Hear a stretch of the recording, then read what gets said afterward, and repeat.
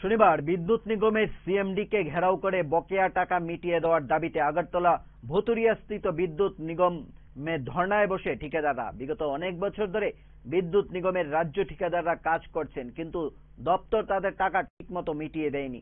পাশাপাশি যতটুকু বিল দেওয়া হয়, সেই টাকা দিতে পর্যন্ত দেরি হয়। পাশাপাশি বহিরাজ্য থেকে লোক এনে তাদেরকে ঠিকাদারের কাজ দিচ্ছেন বলে অভিযোগ করেন রাজ্যের ঠিকাদাররা।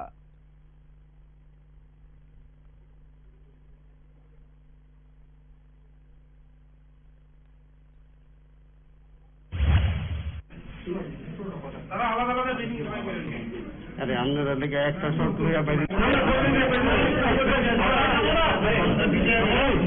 কথা মিটিং করছি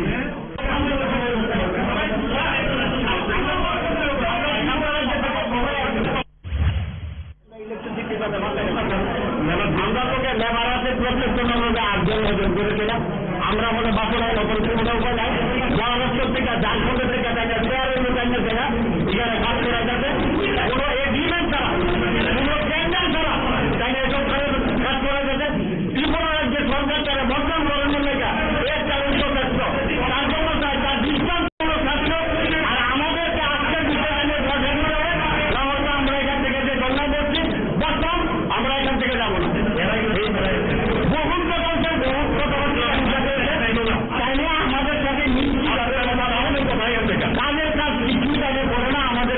তাদের কথা দিয়ে ফেলে না তাই না আমাদের কথা দিয়ে ফেরা বুঝে তাদের কাছে কাজ কিছু না তার জন্য আজকে ওদের চরম ছিল।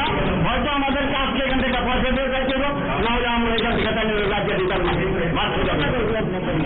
আমরা সারা কি রাজ্যে। আমার একটা হিসাব নাই।